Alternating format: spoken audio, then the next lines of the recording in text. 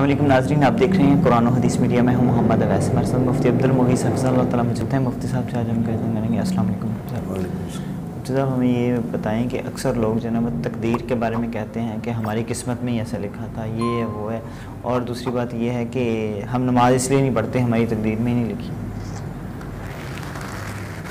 बसमिल्लाम रसूल वैसे भाई, देखें ये जो मसला है बड़ा हसास है तकदीर का।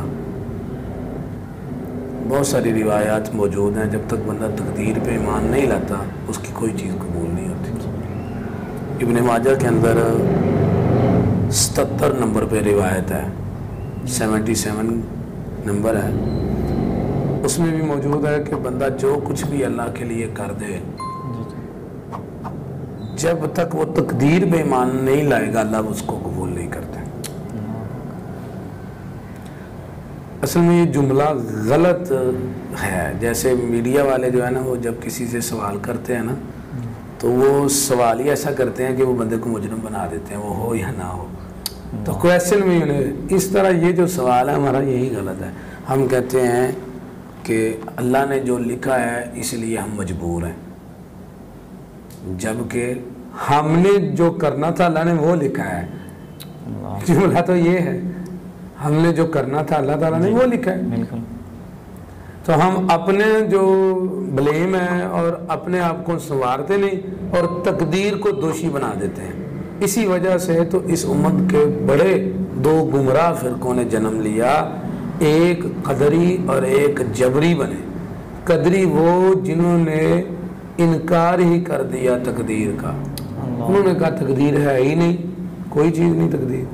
और जबरी वो जिन्होंने कहा कि हमारे ऊपर तो जबर कर दिया गया तकदीर में जो लिख दिया गया हम कैसे हम हम हमसे हिसाब कैसा?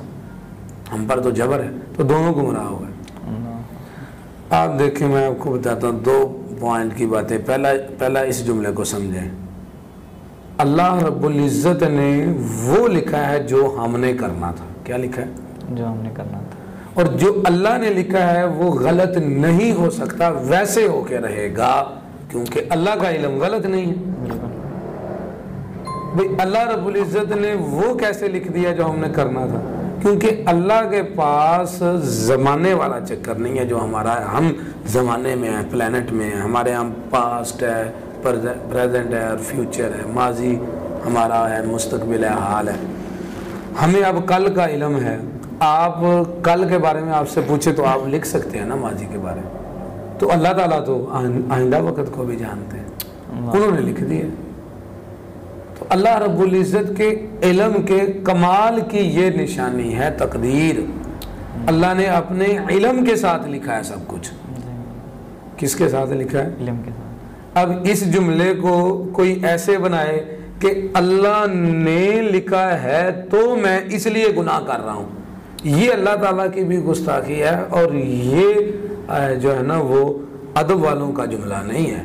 जबकि हकीकी, इल्मी और बादब जुमला ये है कि जो मैंने लिखना था, जो मैंने करना था, अल्लाह ने वो लिखा है। और वो गलत नहीं हो सकता, क्योंकि मैंने करना ही वो था। और अल्लाह ताला के पास तो आइंदा वक़्त का भी इलम है।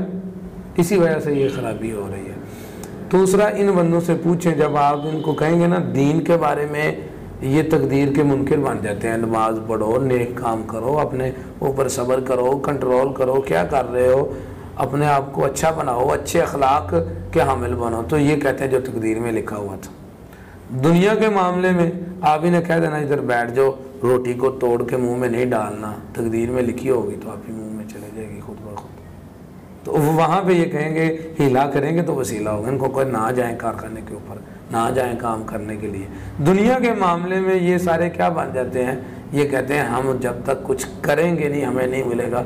जिस अल्लाह ने तकदीर हमारी लिखी है उसने रिजक नहीं लिखा। उम्र नहीं लिखी। सेहत बीमारी नहीं लिखी। तो क्यों दवाई लेते हैं? पहले से जनाब हिफाजती इकदाम किए हैं। अभी आप देख ना कोरोना बीमारी आई नहीं तो बंदों को टीके लग रहे हैं। बिल्कुल। तो असल मसला ये है कि तकदीर क्या है जो हमने करना था वो अल्लाह रब्बुल इज़्ज़त ने लिखा है। और इसको देखें अल्लाह ताला शान वाले हैं इलम वाले हैं अल्लाह अकबर मिन कुल्ल शे हर चीज़ से बड़े हैं। अल्लाह रब्बुल इज़्ज़त ने कायनात को बनाया। तो अल्लाह ताला ने सबसे पहले जब ये तख्लीक शुरू की तो कलम को बनाया। मिशका शरीफ के अंदर भी हदीस मौजूद है किताबुल ईमान में। कलम बनाने के बाद अल्लाह ताला ने उसको कहा, लिखो। तो कलम ने सब कुछ लिख दिया। अब कलम ने वो सब कुछ लिखा तो उसके बाद फिर वो बनना शुरू हो गया। इसी तरह अल्लाह रब्बुल इज़्ज़त ने सब कुछ लिख कर कहा कि देखो, मैंने जो कहा है, वैसे होके रहेगा। क्यों? क्योंकि अल्लाह का इलम कामिल है। वो मुकम्मल है। थिंक टैंक बैठे होते हैं। बड़ा जो है उनमें से वो कहता है, ऐसे होगा, वो वैसे हो जाता है। अब वो सारे कहें कि तुमने कहा था तो इसलिए हुआ है। उस्ताद कह देता है शागिर्द को ये फेल हो जाएगा इसकी पोजीशन आएगी।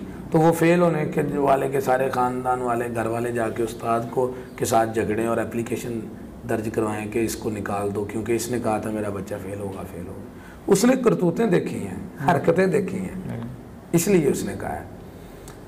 तो अल्लाह रब्बुल इज़्ज़त के पास तो सिर्फ़ अंदाज़ा तो नहीं है। असल में ये कदर का असल माना अंदाज़ है। हमारे एतबार से ये कहा गया अंदाज़ा है लेकिन अल्लाह के एतबार से ये इलम है। इसको तकदीर जो कहा जाता है वो हमारे एतबार से कहा जाता है अंदाज़ा। लेकिन अल्लाह का तो अंदाज़ा नहीं अल्लाह का तो इलम है। तो हमें समझाने के लिए तो अल्लाह रब्बुल इज़्ज़त का ये अंदाज़ा ये तकदीर सौ फ़ीसद यकीनी इलम है। क्यों? अल्लाह फ्यूचर के बारे में जानते हैं। तो इस जुमले को जहन में रखना चाहिए। अल्लाह ने जो लिखा है, इस वजह से हम मजबूर नहीं। हमने जो करना था, अल्लाह ने वो लिखा है। और वो झूठ नहीं हो सकता, क्योंकि अल्लाह को आने वाले वक्त का भी इलम है। हमें जो है ना, वो अमले साल के करीब रहना चाहिए, नेकी का ख्याल रखना चाहिए, अपने अखलाक को बेहतर बनाना चाहिए, ईमान को बेहतर, और इसकी कोशिश करते रहना चाहिए। जी नाजरीन, अल्लाह ताला हमें समझ करने की और अमल करने की तोफ़ी किताब फरमाए। अगले प्रोग्राम में फिर हाजिर होंगे। अल्लाह हाफिज़। दावत कुरान सुनत अपनी ये पहचान है।